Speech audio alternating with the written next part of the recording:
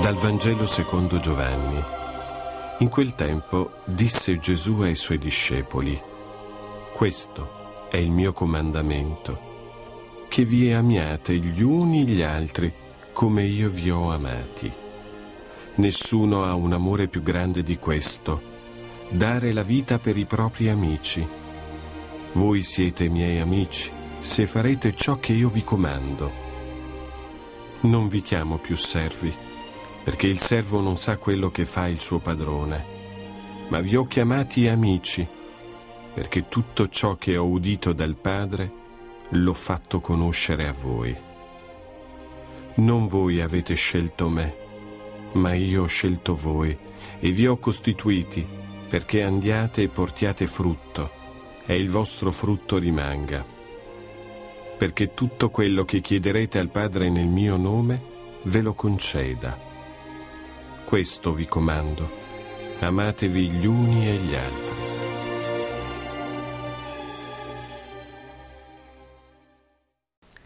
Un saluto da Don Marco Gattorna. Con la pagina del Vangelo di Giovanni che abbiamo appena ascoltato siamo arrivati all'apice, eh, al punto più alto ma anche più profondo del discorso dell'ultima cena di Gesù siamo arrivati nel momento in cui Gesù rivela se stesso, rivela tutto il suo desiderio di rimanere nei suoi discepoli e dice nessuno ha un amore più grande di questo, dare la sua vita per i propri amici. Ecco che qui Gesù dice tutto di sé, non tiene nascosto nulla, dice quanto lui tenga ai suoi discepoli ma come dicevamo all'inizio di questa nostra settimana insieme, queste parole si attualizzano, diventano vere, autentiche per noi oggi. Parole pronunciate duemila anni fa, parole che hanno efficacia, si attualizzano grazie al dono dello Spirito proprio in questi nostri giorni, in questo nostro tempo. Nessuno ha un amore più grande di questo, dare la propria vita per gli amici. Ecco allora Gesù ci chiama davvero amici. E la parola amico sappiamo quanto è importante per la nostra vita.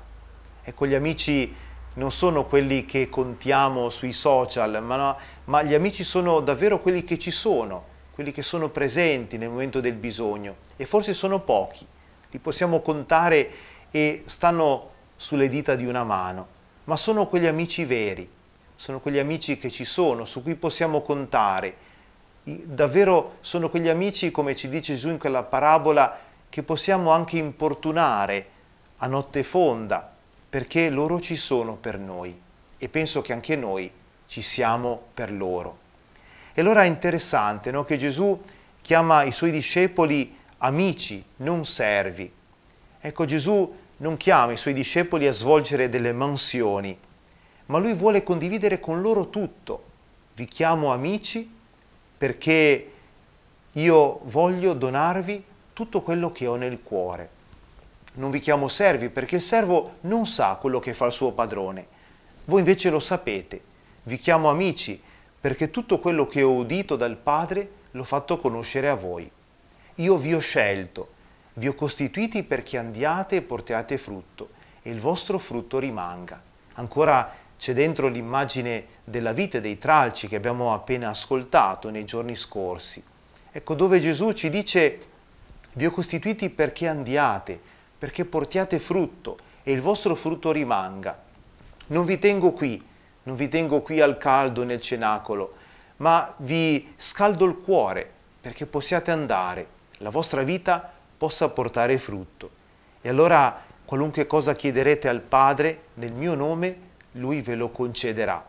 E sappiamo come l'esperienza anche dei primi miracoli, delle prime guarigioni compiute da Pietro e dagli altri discepoli diventano quell'attualizzazione di quella parola che Gesù gli aveva consegnato.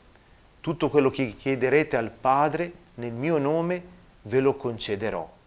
Pietro dice non possiedo né argento né oro, ma quello che io te lo do nel nome di Gesù. Ricordate la guarigione dello storpio no? al Tempio. Ecco, Pietro ha interiorizzato queste parole di Gesù, dove gli aveva detto coraggio, qualunque cosa chiederete a me ve lo concederò, perché il mio spirito sarà con voi, vi accompagnerà sempre. Ecco, chiediamo anche per noi questa grazia di saper interiorizzare le parole di Gesù e sapere che noi siamo suoi amici. Non siamo chiamati a svolgere delle, miss- delle, delle mansioni per conto di Gesù, ma siamo chiamati a essere Gesù, a condividere di Lui tutto con i nostri fratelli. Grazie dell'ascolto e arrivederci a domani.